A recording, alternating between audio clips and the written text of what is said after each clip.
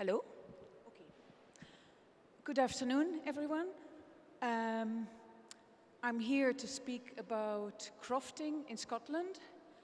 My name is Maria Scholten, and I work for an organization called the Scottish Crofting Federation. And usually I bring pictures um, to show about Scotland, but I didn't bring them. And so I have one picture. And if you want to see the picture, please come a bit closer, and then I will explain what crofting is in detail.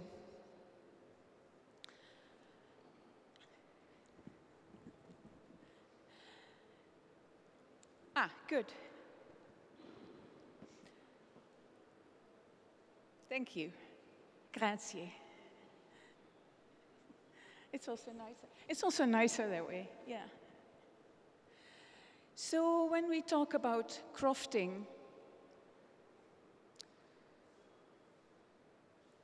okay, yes, thank you.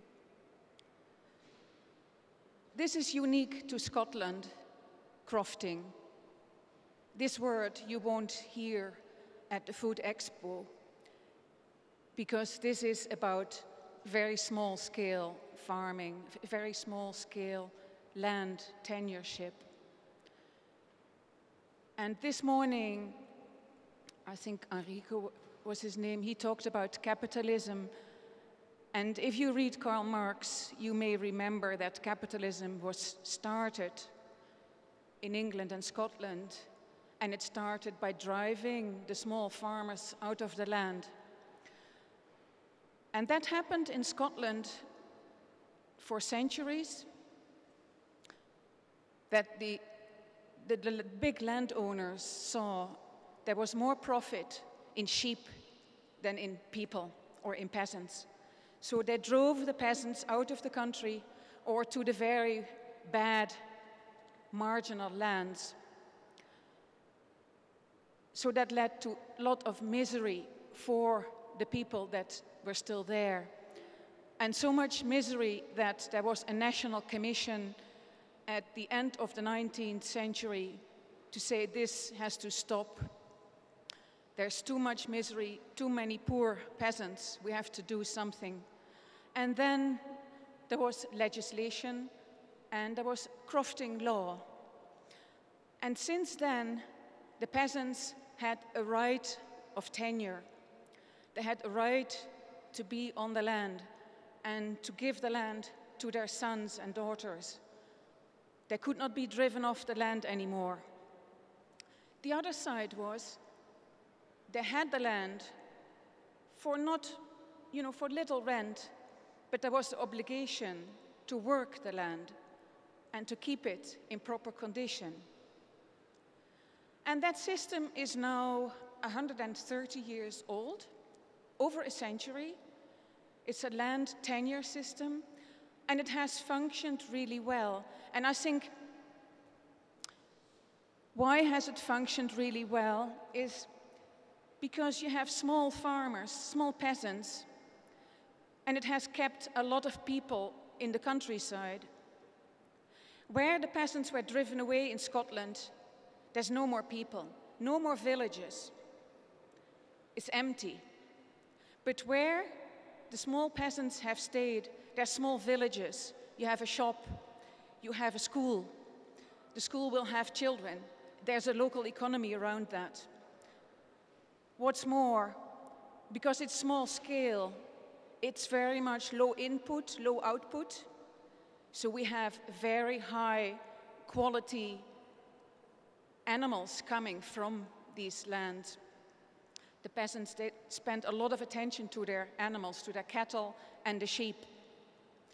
It's, you could say it's organic. It's not officially organic because their certification is too expensive. So that's one big, another big advantage. Because it's so low input, there's high biodiversity. Lots of wildflowers, wild birds, and also lots of rare breeds and land races are still kept because they can't stand the difficult conditions.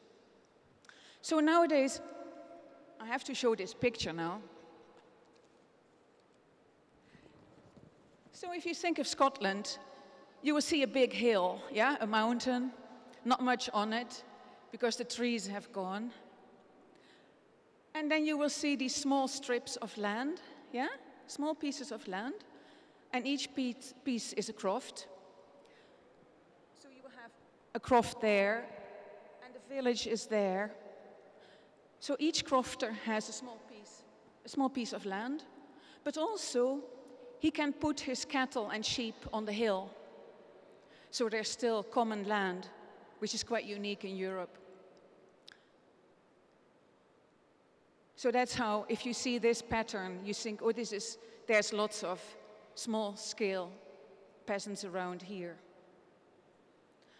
This system has survived for over 100 years. It's a good system.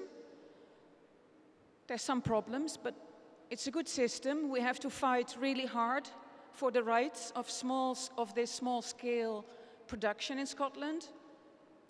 For example, if you think about common land, a lot of the policymakers don't know about common land and they will make measures, they will do policy that's not suitable for us. That's one fight at the, in Brussels for the new CAP, for the new Common Agricultural Policy. Another issue is uh, young people wanting to come into farming or small-scale crofting. If you have, say, if a croft is in your family, it's okay because it's inherited. But there's lots of young people wanting to do small-scale agriculture, small-scale farming, and land prices are very high, very high prices for land. The investment to do that is too high. And there's also a lack of cheap houses and a lack of employment because this is small-scale farming and you will need an extra job.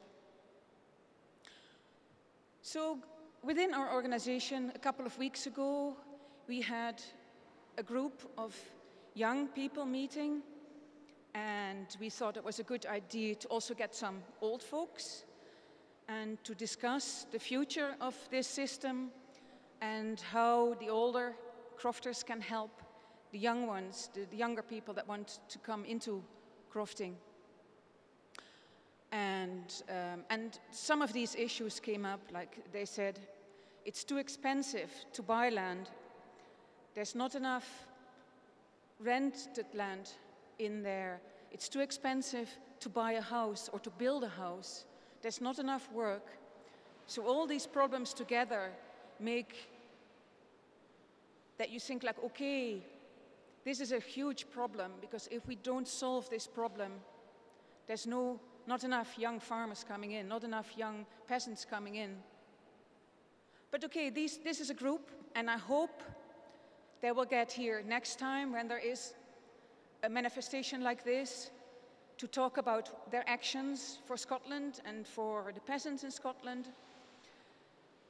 And I hope they will be part of Via Campesina to fight for small peasants. Yeah.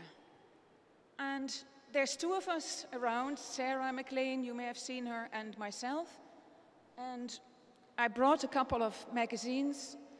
This is our magazine. It's a lot about politics and policy, but also very practical things about what do you do with your chicken when they do this, or what is a good breed of cows. So have a look, we walk around and, and come and ask questions. And thank you for your attention.